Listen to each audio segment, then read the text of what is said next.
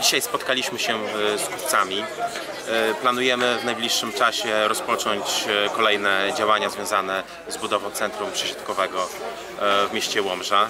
Inwestycja niezwykle ważna, długo oczekiwana przez mieszkańców Łomży.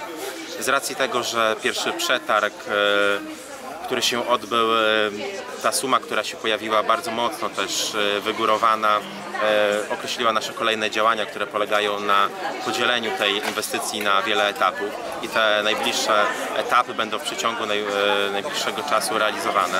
Dzisiaj spotkałem się z mieszkańcami, spotkałem się z kupcami, którzy na, na co dzień prowadzą tutaj działalność handlową, żeby przedstawić ich, mm, im harmonogram prac, uspokoić trochę i jak widać po dzisiejszym e, spotkaniu, na którym padło bardzo dużo e, pytań, e, kupcy wiedzą, w którym okresie będą realizowane poszczególne działania. Padło też sporo sugestii odnośnie kwestii technicznych i mam nadzieję, że w takiej spokojnej atmosferze ta inwestycja niezwykle ważna dla naszego miasta będzie realizowana.